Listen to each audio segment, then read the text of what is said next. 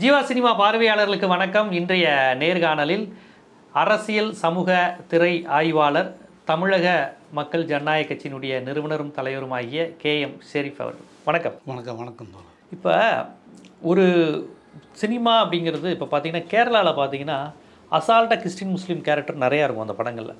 ஏ Joseph என்ன பண்ணுற ஏ அப்துல்லா அது நல்ல நல்லவன் கேரக்டரு கெட்டவன் கேரக்டரு காமெடியன் கேரக்டரில் முஸ்லீமும் இருப்பாங்க கிறிஸ்டினும் இருப்பாங்க இந்துவும் இருப்பாங்க. கலந்து கட்டி வருவாங்க. இப்போ கமலஹாசனுடைய பாபநாசம் படம் கூட கேரளா ரீமேக் தான். அங்கே பார்த்தீங்கன்னா அந்த கதாநாயகன் கிறிஸ்டின். இங்கே தமிழ்நாட்டில் பாபநாசன் வரப்போ ஒரு இந்துவாக காமிச்சாங்க. ஸோ கேரளாவில் அசால்ட்டாக கிறிஸ்டின் முஸ்லீம்ஸை வந்து காமிக்கிற ஒரு கல்ச்சர் இருக்குது இயல்பாக காமிக்கிறாங்கங்கிறாங்க. ஆனால் தமிழ்நாட்டில் பார்த்தீங்கன்னா கதாநாயகர்கள் வந்து பெரும்பாலும் கிறிஸ்டின் முஸ்லீமாக நடிக்கிறதுங்கிறது ரொம்ப மாறுதான். பாட்ஷா படத்தில் கூட அவர் முஸ்லீம் கிடையாது. ஃப்ரெண்டோட பேர் பேரை தான் பாட்சா பேரை பாட்ஷான்னு வச்சுக்குவாங்க. எனக்கு தெரிஞ்சு கமலஹாசன் முஸ்லீமாக விஸ்வரூபத்தில் நடித்தார் ஆனால் அது முஸ்லீம்களுக்கு எதிரான ஒரு படம் மாதிரி அமைஞ்சிருச்சு. அதனால் பெரும்பாலும் கதாநாயகர்கள் வந்து முஸ்லீமாக நடிப்பது கூட கிடையாது. இப்போ கள்ளழகர் படத்தில் விஜயகாந்த் முஸ்லீம் தான். ஆனால் பார்த்தீங்கன்னா முஸ்லீம் தீவிரவாதிகளை திருத்துற ஒரு முஸ்லீம்ங்கிற மாதிரி கடைசியில் காமிப்பாங்க. நம்ம குரானில் இப்படிலாம் இல்லை அப்படின்னு சொல்லி. ஆனால் முஸ்லீம்கள் தான் தீவிரவாதி அப்படிங்கிறது. விஜயகாந்த் நல்லவர் ஆனால் முஸ்லீம்கள் தீவிரவாதி. விஸ்வரூபத்துலேயும் கமலஹாசன் நல்ல முஸ்லீமு. ஆனால் தீவிரவாதிகளை அழிக்கிறதுக்கு அவர் இது பண்ணுறாரு அப்படிங்கிற மாதிரி கான்செப்ட் ஏன் வந்து ஒரு கதாநாயகனாக ஒரு முஸ்லீமாக ஏற்றுக்கொள்கிற மனநிலை இங்கே இல்லையா? எதனால் இப்படி ஒரு சூழல் இருக்குது இந்து முஸ்லீம் கிறிஸ்டின் மூணு பேரும் தமிழ்நாட்டில் இருக்கிறான். ஏன் வந்து ஒரு முஸ்லீமை வந்து ஒரு கதாநாயகனாக ஏற்றுக்கொள்கிற மனநிலைங்கிறது ரொம்ப குறைவாக இருக்கா? இல்லை அதாவது மக்கள்கிட்ட அந்த மனநிலை இருக்கிறதா இல்லையாங்கிறத தாண்டி சினிமா உலகத்திட்ட அது இல்லை. தமிழ் சினிமா.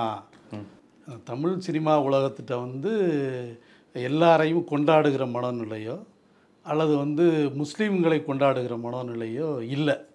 நீங்கள் கேரளா சினிமாவை பொறுத்தவரையும் பார்த்தீங்கன்னா இப்போ கேரளா ஸ்டோரின்னு ஒரு படம் எடுத்துட்டாங்க நம்ம இங்கெல்லாம் அதுக்கு எதிரான ஒரு கருத்தை சொல்கிறோம் ஆனால் கேரளாவை பொறுத்தவரையும் பார்த்தீங்கன்னா தொண்ணூற்றி ஒன்பது படங்கள் வந்து இஸ்லாமிய மக்களுடைய பண்பாட்டை பழக்க வழக்கங்களை பிரதிபலிக்கிற. இங்கே வருது. ஆமாம் ஒரு படம் தான் இது மாதிரி அதாவது ஒரு எதிர்நிலை எடுக்கிற ஒரு சிலரால் அப்படி ஒரு சில சினிமாக்கள் எடுக்கப்படுது. ஆனால் தொண்ணூற்றி ஒன்பது சினிமாக்கள் இங்கே மலையாள சினிமாக்களை நான் வந்து விரும்பி பார்க்குறது உண்டு. அதில் வந்து பெரும்பான்மையான சினிமாக்கள் வந்து இருக்கிற கல யதார்த்தத்தை பிரதிபலிக்கிற சினிமாக்கள் தான். அது மம்மூட்டி நடித்தாலும் சரி அல்லது மோகன்லால் நடித்தாலும் சரி யார் அதனுடைய வலிமை வாய்ந்த அந்த கதாநாயகர்கள் அந்த ஹீரோக்கள்னு சொல்கிறோம்ல அந்த மனிதர்கள் நடிக்கிறது வந்து செ- கள விஷயத்தை அது என்ன நடக்குதோ அதை வந்து ரொம்ப இயல்பாக வந்து காமிக்கிறாங்க. அது எல்லா இஸ்லாமியர்களும் ஏற்றுக்கொள்கிற மாதிரி அது இருக்கும். ஏற்றுக்கொள்கிற மாதிரினா இப்போ ஒரு இஸ்லாமியர் வீட்டில் என்ன உணவு இருக்கும்? நீங்கள் வந்து இருபத்தி நாலு மணி நேரம் பிரியாணி அவன் சாப்பிட்டுக்கிட்டு மாட்டான். தமிழ் சினிமாவில் அப்படி இல்லை. தமிழ் சினிமானா இஸ்லாமியர்கள்லாம் பிரியாணியே சாப்பிட்டுக்கிருப்பான். இப்போ பக்க கொஞ்ச நாளைக்கு முன்னாடி இந்த சந்தானம் படம் வரையும். என்ன? ஒரு பாய் வந்து பிரியாணி சமைச்சுக்கிட்டே இருக்கிற மாதிரி எங்கே கல்யாணம்னாலும் இருபத்தி நாலுமே அவங்க ஏதோ பிரியாணி சமைக்கிறது அவங்க வேலை. டாக்டர் இன்ஜினியர் வேற. ஒர்க்கே அவனுக்கு கிடையாது. இல்லை தமிழ் சினிமாவில் மட்டும் பார்த்தீங்கன்னா பிரியாணி சமைக்கிறது பிரியாணி கொடுக்குறது. அது மாதிரி இங்கே இருக்கிற வசனங்களும் பார்த்தீங்கன்னா பிரியாணி சாப்பிடணுமா? பாய் கடைக்கு போ பாய் வீட்டுக்கு போ. அவ்வளோதான் அவன் பிரியாணியே சாப்பிட்டு இருக்க மாதிரி ஒரு கருத்தாக்கத்தை தான் தமிழ் சினிமா வந்து காமிக்குது. அதே மாதிரி வந்து தமிழ் பேசுகிற கேரக்டரே தமிழ் சினிமாவில் இல்லை. நீங்கள் தமிழ்நாட்டை பொறுத்தவரையும் கிட்டத்தட்ட ஒரு பத்து சதவீத முஸ்லீம்கள் இருக்கிறான் அல்லது ஒரு எட்டு சதவீதம் இருக்கிறான் ஐம்பது லட்சம் முஸ்லீம்களே இருக்கிறான்னு வச்சுங்க. அதில் கிட்டத்தட்ட முப்பத்தஞ்சு லட்சம் முஸ்லீம்கள் வந்து தமிழ் பேசுகிறவன் தான். பதினஞ்சு இப்போ அதாவது பதினஞ்சு லட்சம் மக்கள் தான் வந்து உருது பேசுகிற முஸ்லீம்கள். அதுவும் வந்து பார்த்திங்கன்னா தென்னார்காடு வட ஆற்காடு இந்த திருவண்ணாமலை வேலூர் இந்த மா இந்த மாவட்டங்களில் இந்த பழைய தென்னார்காடு வட ஆற்காடு மாவட்டங்களில் இருக்கிறவங்க தான் உருது பேசுகிறவங்க ஏன்னா அது கர்நாடகா தெலுங்கு பகுதிகளோடு இணைஞ்சிருந்தது. தக்கான பீடபூமி தானே. அங்கேருந்து அந்த மொழியை வந்து கற்றுக்கிட்டு இங்கே வந்தவங்க தான். இன்னும் சொல்லப்போனால் வந்து அந்த மொழியை பொறுத்தவரையும் வேலூர் அந்த மாவட்டங்களில் இருக்கிற பெரும்பான்மையாக இருக்கிற தலித்துகள் நிறையா உருது பேசுவாங்க. ஓ ஆமாம் தலித் நிறையா உருது பேசுவாங்க இங்கே ஏன்னா அவங்களோட வியாபார தொடர்பு அந்த நிறுவனங்களில் பணிக்கு போகிற தொடர்பு நிறையா பேசுவாங்க. அதே மாதிரி சென்னையில் இருக்கிற நீங்கள் தென் மாவட்டங்கள்லேருந்து வந்து குடியேறின தமிழ் முஸ்லீம்கள் இருக்காங்கல்ல அவங்களும் இங்கே உருது நிறையா பேசுவாங்க. அப்போ ஒரு பேசுகிற மொழியை வைத்து அவன் யாருன்னு இங்கே முடிவு பண்ணிட முடியாது. நீங்கள் பெரும்பான்மையாக இருக்கிறது தமிழ் முஸ்லீம்கள் தான். ஆனால் எந்த தமிழ் சினிமாவில் நீங்கள் எம்ஜிஆர் காலத்துலேருந்து நீங்கள் பார்த்துக்கிட்டு வந்தாலும் முஸ்லீம் கேரக்டர்னாலே தமிழை தமிழை தடுமாறி. தமிழை தடுமாறி பேசினா கூட பரவாயில்ல. தமிழை கொலை பண்ணுற கேரக்டர் நிமில் அல்லாஹ் சொல்றான் நிமில்கே. அப்படின்னா நிமில்கி நம்மில்கி தான். எந்த முஸ்லீம் அப்படி ஆமா, பேசுறாங்க யாருமே அப்படி நிம்மில்கி நம்மில்கி எல்லாம் பேசுறது இல்ல. ஆனால் இந்த சினிமாக்களில் தொடர்ந்து வந்து நிம்மில்கி நம்மில்கிங்கிற உலகத்திலே இல்லாத ஒரு பாஷையை தான் தமிழ் சினிமாவில் முஸ்லீம்கள் பேசுகிறதா காண்பிக்கப்படுது. நீங்கள் இன்னொரு உண்மை என்னென்னா முஸ்லீம் கேரக்டரை காமிச்சாவே பெரிய தொப்பி போட்டு இவ்வளோ நீளத்துக்கு தாடி வச்சு நீங்கள் வந்து தமிழ்நாட்டில் இருக்கிற முஸ்லீம்களில் ஒரு இருபத்தைந்து சதவீதம் தான் நீண்ட தாடி அந்த தொப்பி வச்சுட்டு எந்நேரமும் இருக்கிறது. பெரும்பான்மை ஆட்கள் தாடி வைக்கிறது இல்லை தொப்பி போட்டிருக்கல. அது வந்து நான் தப்பு அப்படின்லாம் சொல்லலை. அது சில பேர் அந்த ப அது அதை வந்து கட்டளை கிடையாது அங்கே. முஸ்லீம்களை பொறுத்தவரை தாடி வச்சே ஆகணும் தொப்பி வச்சே ஆகணுங்கிறது வந்து ஒரு இப்படி தான் அப்படின்லாம் இல்லை. தேவைப்பட்டால் நீங்கள் வச்சுக்கலாம் இல்லைன்னா சும்மா இருக்கலாம். ஆனால் தமிழ் சினிமாவில் பார்த்தீங்கன்னா எல்லாரையும் தீவிரவாதிகளாக காமிக்கிறது. எல்லா தீவிரவாதிகளும் தாடி வச்சுருப்பான். அப்போ தாடி வைக்காதவன் வந்து சண்டை போட மாட்டானா சுட மாட்டானா? அப்போ தமிழ் சினிமாவில் மட்டும் இப்படி ஒரு நிலைமையை வந்து எம்ஜிஆர் காலத்திலிருந்து நீங்கள் சிவாஜி படத்தில் கூட ஒன்று ரெண்டு அப்படி சில கேரக்டர் இருந்துச்சு.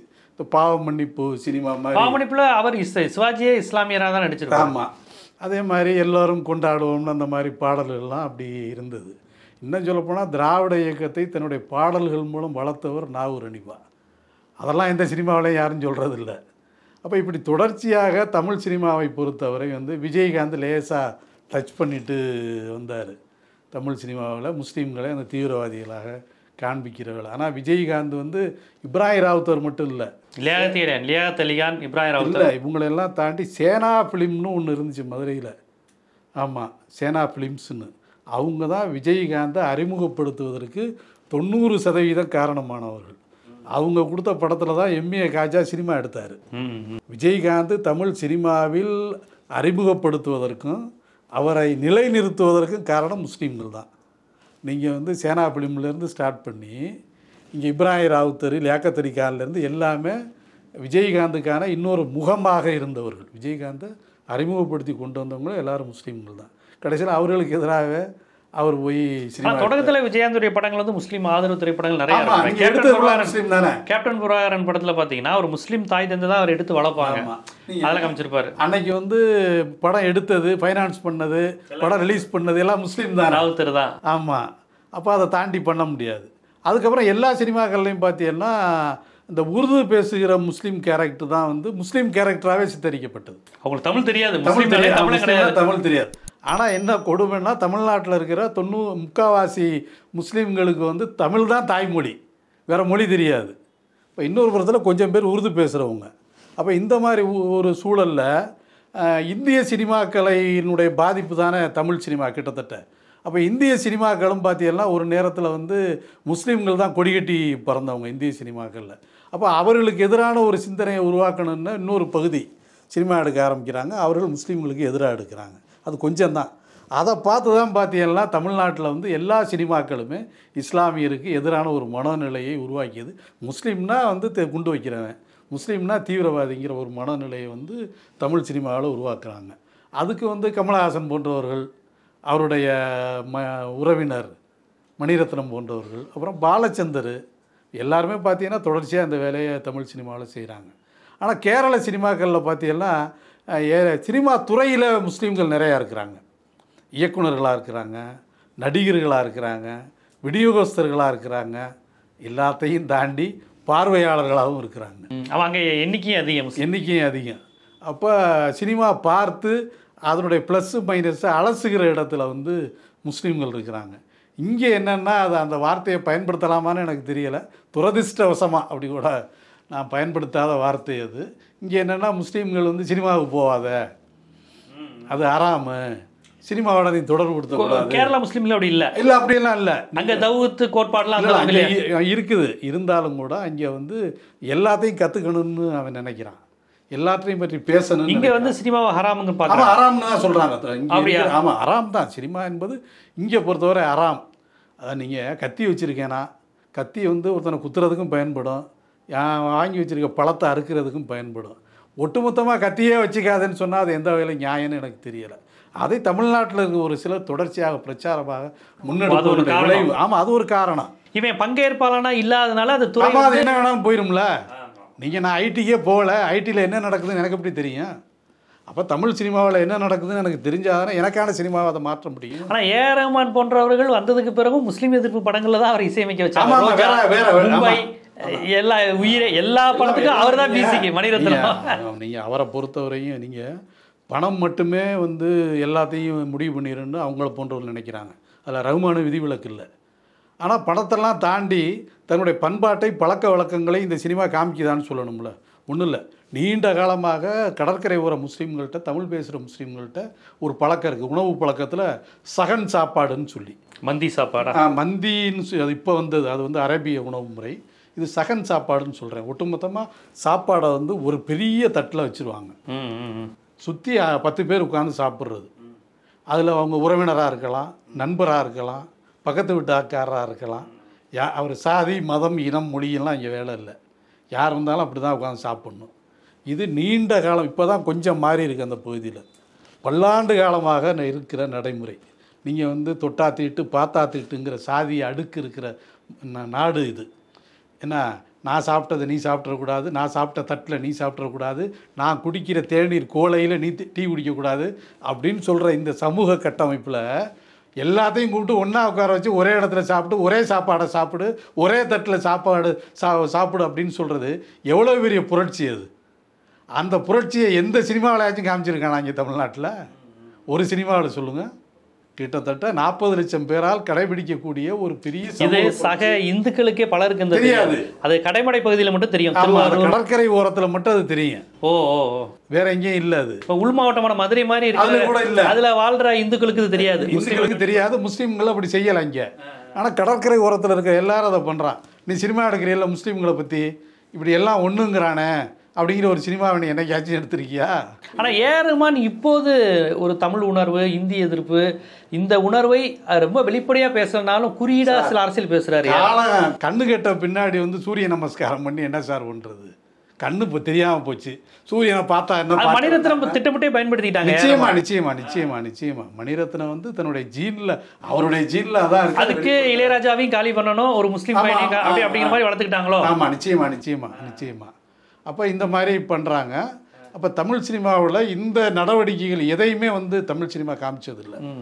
இப்போ உணவு விஷயத்துலையும் வந்து எல்லாரையும் ச பகிர்ந்து கொடுக்கணுங்கிற அந்த இஸ்லாம் சொல்லுகிற விஷயத்தை எந்த சினிமாவை காமிச்சிச்சா? இல்லை.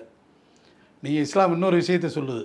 பக்கத்து வீட்டுக்காரன் பட்னியாக இருக்கையில் நீ சாப்பிடக்கூடாதுன்னு சொல்லுது. இதை வந்து ஒரு இயல்பாக ஒரு சின்ன விஷயமா கூட எந்த சினிமாவும் சொன்னதில்லை. ஜன்னல் வைக்கிறதுக்கு ஒரு கோட்பாட்டை சொல்லுது. அடுத்தவனுக்கு போகிற காற்றை நீ மறைக்கக்கூடாதுன்னு சொல்லுது இஸ்லாம். ஜன்னல் வைக்காதீங்க ஆமாம் வைக்காத. அதாவது நீ வந்து அவன் ஜன்னலை நீ மறைக்காதேன்னு சொல்லுது. அடுத்தவனுக்கு போகிற காற்றை நீ தடை பண்ணாதேன்னு சொல்லுது. அப்போ எந்த சினிமாவிலாச்சும் இதை காமிச்சிருக்கானா? எவனாச்சும் லட்சத்தில் ஒருத்தன் கோபப்பட்டு தனக்கு இழைக்கப்பட்ட அநீதிக்கு எதிராக ஒருத்தன் துப்பாக்கி எடுத்துட்டான்னா ஒரு சமூகமே துப்பாக்கி ஏந்துகிற சமூகமாக தமிழ் சினிமா காமிக்கும் ஆனா எம்ஜிஆர் வந்து அந்த அலாவுதீன் அற்புத விளக்கம் அதுக்கப்புறம் இன்னொரு படத்துல மேரா நாம் அப்துல் ரஹ்மான்லாம் பாடுவாரு. பாடியிருக்காரு படங்கள்லாம் அவருக்கு வந்து ஃபைனான்சியராக கீழக்கர் அப்துல் ரஹ்மான் பிஎஸ்சி அப்துல் ரஹ்மான் இருந்தார். ஓ அதை குறிப்பிட்டு குறிப்பிட்டு அவர் வந்து அந்த பாட்டை எழுதுறாரு. ஏன்னா அவருக்கு எப்போவெல்லாம் பணமுடை ஏற்படுகிறதோ அப்போதெல்லாம் உதவி இருக்காங்க அப்பொழுதெல்லாம் பிஎஸ்சி அப்துல் ரஹ்மான் தான் உதவி இருக்காரு ஓ அப்போ அதை உணர்த்தி வந்த பாட்டு தான். ஆமாம் நீங்கள் ஒரு நேரத்தில் வந்து எம்ஜிஆர் வந்து மதுரை பாண்டியன் ஹோட்டலில் தங்கியிருக்காரு திண்டுக்கல் இடைத்தேர்தல். மாயத்தேவர் ஜெயிக்கிறாரு மாயத்தேவர் முதல் நாடாளுமன்ற உறுப்பினர். அப்போ காசு இல்லை எம்ஜிஆர்கிட்ட அப்போ முன்னாடி மாதிரி தொலைத்தொடர்பு வசதியெல்லாம் இப்படி கிடையாது. நம்பிக்கையான ஆள்கிட்ட வந்து அனுப்பி விடணும். எம்ஜிஆர் என்ன பண்ணுறாரு பாண்டியன் ஹோட்டல்ல இருந்து தான் போட்டிருந்த மோதிரத்தை கலட்டி ஒருத்தரை கொடுத்து இதை போய் பிஎஸ்சி அப்துல் ரஹ்மான்கிட்ட காமிச்சு பணம் வாங்கிட்டு வா. ஆனால் மோதிரத்துக்கான பணம் இல்லை. அது நிறைய பணம். எம்ஜிஆர் கொடுத்தது எம்ஜிஆர் எம்ஜிஆர் கேட்டிருக்காரு. அவன் எப்படி யாரை அது எப்படி நிரூபணம் பண்ணுறது பழைய காலத்து ராஜாக்கள் படம் மாதிரி இப்போ கூட வந்து பொன்னியின் செல்வனில் வாழை கொடுத்து கதையெல்லாம் வந்ததில்ல அது மாதிரி எம்ஜிஆர் கொடுத்து விட்டு பொட்டி பொட்டியாக பணம் வந்ததா சொல்லுவாங்க. அதனால அந்த பாட்டு எழுதினார். அப்போ எம்ஜிஆருக்கும் இஸ்லாமியர்களுக்குமான உறவு என்பது நல்ல நெருக்கமாக இருந்தது. அவர் படத்தில் கூட அவ்வளவு மோசமாக எனக்கு தெரிஞ்ச எந்த சினிமாவும் இஸ்லாமியர்களுக்கு எதிராக காமிச்சதில்ல. என்ன இந்த நம்மில்கி நிம்மில்கி வசனம் அவர் படத்துலையும் வரும். வில்கி ம், அப்படின்னு சொல்லி. அப்படியெல்லாம் யாரும் இங்கே பேசுறது இல்லை அப்போ அது மாதிரி. அப்போ இங்கே எதையெல்லாம் தாண்டி இன்னொரு விஷயத்த நான் என்ன பார்க்கல இதயக்கனி படத்துல அந்த வரி வரும். என்றும் நல்லவங்க எப்போதும் உங்க பின்னால அப்படின்னா? அப்படிங்கிறப்ப பின்னாடி ஒரு முஸ்லீம். ஃபாதர் ஒருத்தர் இருப்பாரு அது மாதிரி எல்லாம் காமிப்பாங்க. அப்போ எம்ஜிஆருக்கு வந்து இது எம்ஜிஆர் வந்து மக்களை மையப்படுத்தி தேர்தலை மையப்படுத்தி சில விஷயங்களை முன் வச்சார். அப்போ அதுக்கு பின்னால் வந்த த தமிழ் சினிமா என்பது நூறு சதவீதம் ஒரு சமூகத்துக்கான எதிரான சினிமாவாக மாறுது. நீங்கள் ஒரு சினிமாவில் வில்லன் இருக்கணும் கதாநாயகன் இருக்கணும் ஒரு நகைச்சுவை கேரக்டர் இருக்கணும். அப்போ வில்லன் வந்து எந்த சமூகத்தை சார்ந்தவராக கூட இருக்கலாம். வில்லனுக்கு வந்து சமூகமாக சாதியாக இருக்குது. எவன் தப்பு பண்ணாலும் வில்லன் தான். ஆனால் தொடர்ந்து தமிழ் சினிமாவில் வில்லன்களாக முஸ்லீம்கள் மட்டும்தான் காண்பிக்கப்பட்டுக்கிட்டே வர்றான் தொடர்ச்சியாக அப்போ இல்ல அப்ப வில்லன் நடிகர் அதான் நடிகர்கள் வந்து அதிக அளவில் முஸ்லீம் நடிகர்கள் வந்து வராதும் ஒரு காரணம். இப்ப ராஜ்கிரண் இருந்தாரு. ஆனா அவர் தன்னை ஒரு இந்துவா காமிச்சுக்கிறது தான் பேரே தான் மாற்றிக்கிட்டாரு பேரை ஒரு இது பண்ணிக்குவாரு. சாமி வந்து ஆடுவாரு. அவர் ஒரு ஒரு என்ன சொல்ற ராமநாதபுரம் ஒரு மரவர அகமுடியர் மாதிரி காமிச்சு கொள்வதில் அவர் இல்லை இதாயிட்டார் அவர் அதுக்கு என்ன காரணம்னா அவர் ஒரு டிஸ்ட்ரிபியூட்டராக இருந்து வந்தவர் தான். தமிழ் சினிமாவில் முஸ்லீம்களே இல்லை. நீங்கள் ஒரு அரசு அலுவலகத்தில் இப்போ நான் நிறைய அதை இப்போ பார்த்துருக்குறேன். ஒரு ஐநூறு பேர் பணிபுரிகிற அரசு அலுவலகத்தில் ஒரே ஒரு முஸ்லீம் இருப்பார். ஆனால் அவர் தன்னை முஸ்லீமாக காமிச்சிக்க மாட்டார். அதை முஸ்லீமாக காண்பிப்பதுலேருந்து எப்படியெல்லாம் தவிர்ப்பதுன்னு அவர் பார்ப்பார். ஏன்னா யாருமே இல்லை. நம்ம தனிமை பெற்றுவோம் அப்படின்னு அவர் நினைப்பார். அதே மாதிரி சினிமாவிலையும் ஒரு நேரத்தில் பார்த்தீங்கன்னா எனக்கு தெரிஞ்ச எம்ஜிஆர் காலத்தில் டிஸ் டிஸ்ட்ரிபியூட்டர்ஸ் வந்து நிறையா Valanadu cine release Sena films இது மாதிரி நிறைய முஸ்லீம்கள் வந்து சினிமா டிஸ்ட்ரிபியூட்டராக இருப்பாங்க. திரைப்பட கொட்டகைகள் திரையரங்குகள் நிறைய முஸ்லீம்கள் வச்சுருந்தவங்கலாம் இருக்கிறாங்க. அப்புறம் படத்துக்கு ப ஃபைனான்ஸ் பண்ணுறது தயாரிப்பாளர்கள். இவங்க நிறையா சினிமாவில் இருந்தாங்க. கவி காமுசரி போன்ற பாடலாசிரியர். அவர் ஏதோ ஒரு பாடலுக்கு பிறகு பாட மாட்டேன்னு சொல்லிட்டாரு. நாங்க சினிமால இனிமே. இல்லை இல்லை இல்லை இல்லை. அது வந்து நிறைய பாட்டு எழுதினாரு. ஒரு பாட்டு எழுதினவர் மேத்தா. ஒரு படம்னு நினைக்கிறேன். ஆமாம் கன்னத்தில் என்னடி காயம்? ஏதோ அந்த வரி என்ன? இந்த மாதிரிலாம் நெருக்கமான காட்சி வரியெல்லாம் நான் பாட மாட்டேன்னு சொல்லிட்டேன். சொன்னார்னு சொல்லுவாங்க. அதே மாதிரி மேத்தாவும் அதுக்கப்புறம் ப தொடர்ச்சியாக எழுதலை. கவிஞர் அப்துல் ரஹ்மானை வந்து ப பாட்டு எழுதுறதுக்காக கூப்பிட்டாங்க. அவர் வந்து அம்மி கொத்துவதற்கு சிற்பி தேவையில்லைன்ட்டு போயிட்டார். ம். நான் ஏன்டா போய் அம்மி கொத்த போகிறேன் நான் வந்து சிலை வெடிக்கிறவன். எனக்கு இந்த இவர்களிடம் இருந்த ஒரு புனித தனித்துவம் அந்த புனிதத்தன்மையும் ஒரு காரணம். தங்களை தூய்மைவாத ஒரு மனநிலையிலே வெகுஜன இதுல இருந்து விளையிட்டாங்க. அதுக்கப்புறம் சே- காமு ஷெரீஃபுக்கு பின்னாடி வந்து திரைத்துறையில் பாட்டு எழுதுறவர்கள் ரொம்ப அருகி ரொம்ப இல்லாமல் போயிட்டாங்க. தயாரிப்பாளர்கள் இல்லை விநியோகஸ்தர்கள் இல்லை. சினிமா துறையில் கதை வசனம். கூட பெரிய அளவில் ஜொலிக்க முடியல. ஒரு முஸ்லீம் நடிகர் ஆமாம் ஆமாம் ஆமாம் வர முடியல. அவர் மாதவன் வந்தவொடனே அவரை காலி பண்ணிட்டாங்க. சகலையா? ஏஆர் ரகுமான். ரகுமானுடைய ரகுமான் ஒருத்தர். அவருமே ஆனா பாலச்சந்தர்கிட்ட ப்ரொமோட் பண்ணாரே அவரை. இல்லை பண்ணாங்க. பண்ணாங்கனால அவங்களால ஜொலிக்க முடியல. அவங்க குறிப்பாக பெரும்பான்மையர் வேறு மாநிலத்துக்காரர்கள் வந்து இங்கே நடிக்க வந்தாங்க. அதனால் அவங்களால ஜொலிக்க முடியல. ஆனால் கேரளாவில் அப்படி இல்லை. கேரளாவில் நீங்கள் வந்து கதை எழுதுறதுலேருந்து படத்தில் டிக்கெட்டு கொடுக்குற வரை முஸ்லீம்கள் வந்து சரிசமமாக கலந்து நிற்கிறாங்க அதனால் இந்த மீடியாவை வந்து பயன்படுத்துகிறாங்க அவங்க. ஏன்னா சினிமாங்கிறது ஒரு பவர்ஃபுல் மீடியா தானே. அந்த மீடியாவை கேரளாவில் பயன்படுத்துகிறாங்க ஏன் என்ன சொல்லப்போனால் இந்தி திரையுலகத்தில் கூட அவர்களுடைய ஆதிக்கம் என்பது இருக்குது. நீங்கள் பயன்படுத்துகிறாங்கங்கிறத தாண்டி காண்களின் ஆதிக்கம் தான் அதுலயும் நிறைய பேரை முஸ்லீம் பேரை மறைச்சுக்கிட்டு உள்ள வந்தாங்க. இதில் வந்தவங்கலாம் இருக்காங்க இருக்காங்க இருக்காங்க. முஸ்லீம்களும் இருக்கிறாங்க. அவர்களுடைய ஆதிக்கம் தான் இங்கே இருக்குது. ஆனால் தமிழ் சினிமாவில் அப்படி இல்லை. தமிழ் சினிமாவிலேருந்து நீங்கள் கொஞ்சம் கொஞ்சமாக ஒதுங்கி போய் நின்னதுனால தமிழ் சினிமா ஒரு சமூகத்துக்கு எதிராக போய் நடிகைகள்ல குஷ்பு இருந்தாங்க. ஆமாம் நக்மா வந்தாங்க ஜோதியா ஆனா அவங்களாம் இப்ப இந்துவா மாறிட்டாங்க மாறிட்டாங்க. மாறிட்டாங்க ஷகிலா வந்து கேரளால தான் வருவாங்க. வேற யாரும் எனக்கு தெரிஞ்சு நீங்கள் நடிகைகள் கூட கொஞ்சம் கூட இருந்தாங்க. ஆனால் நடிகர்கள் வந்து ரொம்ப குறைவு. நடிகர்கள் ரொம்ப குறைவு. ஆனால் நடிகர்களை தாண்டி இங்கே வந்து தயாரிப்பாளர்கள் தான் டிசைடிங் ஃபேக்டர் அதில் இல்லை. தயாரிப்பாளர்கள் தான் வந்து யாரை நடிக்க வைக்கிறது என்ன மாதிரி கதையை கொண்டு போகிறதுன்னு முடிவெடுக்கிறவங்க சினிமா இயக்குனர்களும் முஸ்லீம்களும் இல்ல தயாரிப்பாளர்களும் இல்ல. தயாரிப்பாளர்களும் இல்லை. கதாநாயகர்களும் கதாநாயகர்களாகவும் இல்லை. அப்போ ஒரு பவர்ஃபுல் மீடியாவிலேருந்து நம்ம வந்து தனிமைப்பட்டு நிற்கிற போது நமக்கு எதிராக அது வந்து அது மாறுது. அதுவும் ஒரு உண்மையான காரணம். பொதுவா விமர்சனம் பண்ணாம ஏன் அப்படி போயிருக்கு அப்படிங்கறத. இவங்க அந்த ஹராம் இது போகக்கூடாது இசை ஹராம். படம் வராமல் ஒதுங்கினதுடைய விளைவு இப்ப நம்மள்ட்ட இருந்து அந்நியப்பட்டு போயிடுச்சு. அது வந்து நம்மளுக்கு எதிராக நிக்குது இப்போ வந்து. நீங்கள் நாம் கையாண்ட ஒரு கத்தி நமக்கு எதிராக வந்து இன்னைக்கு நிக்குது. தமிழ் சினிமாவில் வந்து இப்போ நம்ம கமலஹாசனுக்கு பணம் கொடுக்கறது ஃபைனான்சியராக ஒரு முஸ்லீம் இருக்காருன்னு வச்சுங்க. அவர் எடுக்க மாட்டாரு. எடுக்க எடுப்பார் அவரு? இதெல்லாம் தீர்மானிக்குது. ஆ இதான் இதெல்லாம் தீர்மானிக்குது. நீங்கள் இது மட்டும் எல்லா விஷயங்களும் தமிழ் சினிமாவில் முஸ்லீம்கள் அந்நியப்பட்டு போய் நிற்பதாலே இது தீர்மானிக்கிற விஷயமா இருக்குது. அது முஸ்லீம்களுக்காக முஸ்லீம்களுடைய பழக்க வழக்கங்களை பண்பாட்டை படம் எடுக்கணும்னு ஒருத்தன் நினைக்கிறான்னு வச்சுங்களேன் அவனுக்கு சப்போர்ட்டாகவும் முஸ்லீம்கள் யாரும் இல்லை. நீங்கள் அதுவும் நம்ம இதெல்லாம் நம்ம கவனத்தில் எடுக்க வேண்டியிருக்குது. ஏன்னா எங்களுக்கு ஆமா இவன் வந்து அது முஸ்லீம் சினிமாங்கிறது என்னதாலும் ஹராம் தானுங்க. அப்படின்னு. அது இல்லைங்க ஆட்டம் பாட்டம் அப்படின்ட்டு. அப்படிங்கனால ஆனா அவங்க அப்படி இல்ல. அதை கொண்டாடுறதுக்கு ஒரு கூட்டமே இருக்குது. கொண்டாடுறான் கை தூக்கி கை விடுறான். தூக்கி வர்றான் நீங்கள் கேரளாவோட எல்லாம் பார்த்தீங்கன்னா இஸ்லாமிய பண்பாட்டுக்கு எதிராக ஒரு சினிமா எடுத்தான்னு வச்சுங்களேன் சினிமாவை எடுக்கவே மாட்டான் முதல்ல. ஒன்று ஒரு சினிமா எடுக்கிறான் அப்படின்னா இன்னொருத்தன் வந்து அதை பார்த்துட்டு இந்தா நாங்கள் எப்படி சாப்பிடுவோம்? எப்படி உடை உடுத்துவோம் அதுக்கு மாறா நீ எடுத்துருக்க. இதை எடுத்துகிட்டு போனேன்னா எங்கால அடிப்பான் பார்க்க மாட்டான் அப்படின்னு சொல்லுவான். ஏன்னா இங்கே பார்வையாளராகவும் முஸ்லீம்கள் இருக்கிறான். இங்க பார்வையாளரும் குறைவு. பங்கேற்பாளரும் குறைவு. பங்கேற்பாளரும் குறைவு. அப்போ வந்து இது மாதிரியெல்லாம் ஒரு சூழல் கேரள சினிமாக்கள் இருக்கிறனால அவன் எல்லாம் நீங்கள் வந்து நாம் தமிழ் சினிமாவை விட ஒரு ஐம்பது ஆண்டு காலம் முன்னோக்கி இருக்குது கேரள சினிமா. நீங்கள் அப்படி கணக்கு பார்த்தோம்னா அது டாப்பில் இருக்குது. நீங்கள் கடைசி இடத்துல தான் தமிழ் சினிமா இருக்கும். Tamil cinema Kannada cinema Andhra cinema இதெல்லாம் பார்த்தீங்கன்னா கடைசி இடங்களில் தான் இருக்கும். எனவே முன்னோக்கிய முன்னேறிய ஒரு திரையுலகம் என்பது இது மலையாள சினிமா தான். அதில் வந்து சிறப்பாகவும் சரியாகவும் அதை கொண்டு போகிறாங்க அது காரணம் நம்முடைய தொடர்பும் பங்கேற்பும் அதில் இருக்குது. தமிழ் சினிமாவில் அப்படி இல்லை. அதனுடைய விளைவு தான் இப்படிப்பட்ட மோசமான சினிமாக்கள் வரிசையாக வருவதற்கு காரணம். ரொம்ப- முக்கியமான உரையாடலாக பார்க்குறேன் இது இந்துக்கள் இஸ்லாமியர்கள் ரெண்டு பேருக்குமே ஏன் தமிழ் சினிமா இஸ்லாமியர்களை ஒதுக்குதுங்கிறத அவர்களை நோக்கி விமர்சிப்பது ஒரு புறம் இருக்கட்டும். இந்த நிலைக்கு யார் காரணங்கிறத ஒரு அகவே சூழல்ல இருந்தும் விமர்சனத்தை வச்சுக்கோங்க. உங்களை பாற்றும் விமர்சனங்களை வச்சுக்கோங்க. ஏன் கேரளாவில் சாதிக்க முடியுது இங்கே முடியல? ஏன் பாலிவுட்டில் அவ்வளோ எண்ணிக்கை இருக்குது அத்தனை கான்கள் இருக்கிறாங்க. இன்றைக்கி தவிர்க்க முடியாமல் ஷாருக் கானை எத்தனை இந்துக்கள் ரசிக்கிறான்? ஏன் அப்படி ஒரு நிலையை நீங்கள் தமிழ்நாட்டில் கொண்டு வர முடியல?